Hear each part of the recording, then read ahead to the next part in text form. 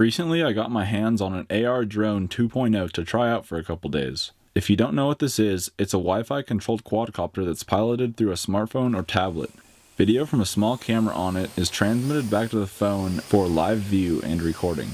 I was impressed with the quality of the video for being transmitted, it's pretty clear. However, there's a lot of jello from vibrations. Controlling this quad is very easy because if you let go of the controls, it will just hover in one place. Here I attached a string to the bottom of the quadcopter with different weights to test how much payload it could carry. It couldn't even pick up the first weight.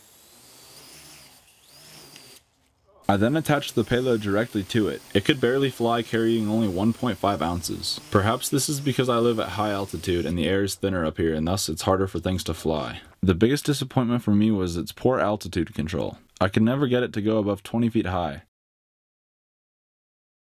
Of course, this quad does not compare to actual quadcopters, but for its simplicity to operate, it's not bad.